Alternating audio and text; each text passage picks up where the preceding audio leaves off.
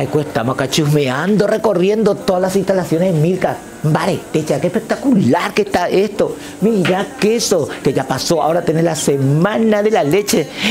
Vengan por el día del amigo. Aprovechen. Ay, ¿qué pasó? Ay, ¿qué? Eh, no, venga, dice, venga, venga. No sé qué hacer.